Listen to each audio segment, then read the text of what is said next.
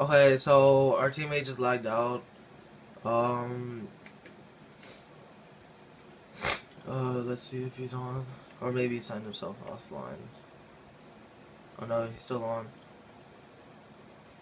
So let me try. It's it blocked game advice, so he put it on closed. So he pretty much it's a two v three.